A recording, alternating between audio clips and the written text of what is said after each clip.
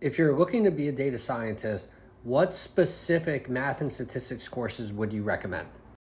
For the math, the idea is that you want to be comfortable reading technical papers. These will teach you about new methods, whether it's in machine learning or causal inference or really any other space.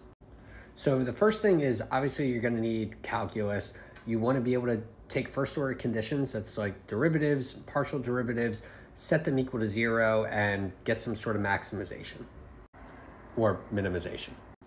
But sometimes these maximizations and minimizations are also constrained. So you want to be comfortable with some things that I believe get up to real analysis like Kuhn-Tucker and Lagrangians. But essentially calculus and real analysis should cover all of that. Then really important is anything that's like matrix algebra.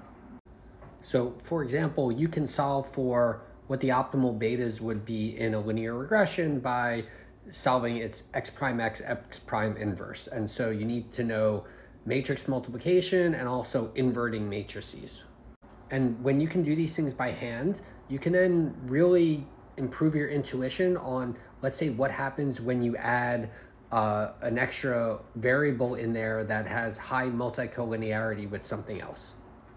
So for example, maybe you have a regression where you're modeling college going, likelihood of college going on math SAT scores. Well, what's going to happen to the coefficient on math SAT scores when you put in verbal SAT scores, which may have a high correlation with the math?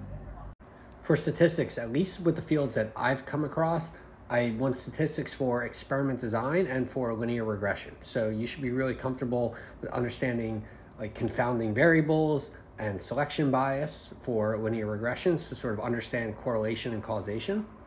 And then on experiment design, you want to have a good sense of distributions, uh, hypothesis testing, and can you answer questions like if a stakeholder is comfortable with shifting the like p equals 0.05 is a threshold to p equals 0.10 how does that affect the sample size that you need to run an experiment and get statistically significant results?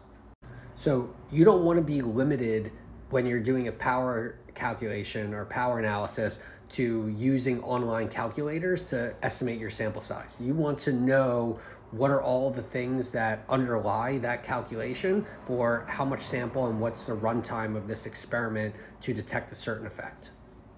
And there's probably a lot of other stuff that I'm missing, but those are the ones that really come to mind that I would use pretty regularly.